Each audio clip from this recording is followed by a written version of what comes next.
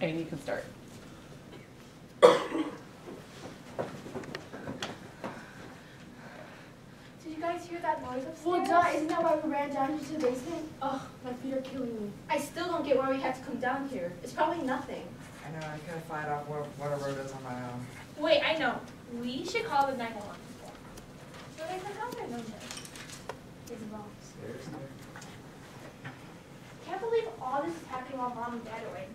Think of all the things that could be up there. Isn't this such a fun adventure? Wait, what if the mobs are up there? If it is, I would. Shh, be quiet for at least a little while, Isabelle. Whatever is upstairs might hear us down here. So, what do we do now? Mom and Dad won't be home till later, and our phones will make calls down here. Brian, go back upstairs and see what it is. Why me? Why not Isabelle or Clarissa? Why would just Isabelle? She doesn't know the number you call for an emergency. Hey, I'm brave too. I killed a spider once. Where are you going? Back upstairs? Where else? Are you crazy? There may be a monster up there. I'll be fine. I already told you it's probably nothing. Besides, someone will have to go up there eventually. Why are you all so scared? Yeah, great idea, Clarissa. Let's all go upstairs and become friends with the intruder. Really? I love making new friends. Obviously she was joking, you idiot. Well, I'm going to have a look upstairs. Come on, Clarissa, stop talking. Everyone just shut up. Well, maybe you should stop talking since you're the one bossing us around. Guys, stop fighting. Mr.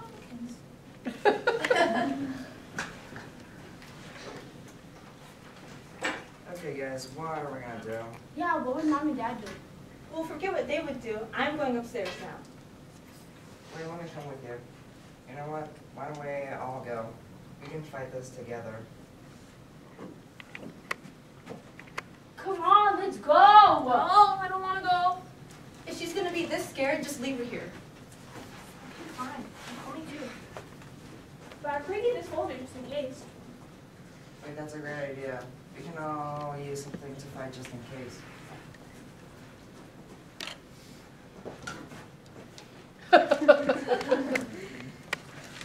What?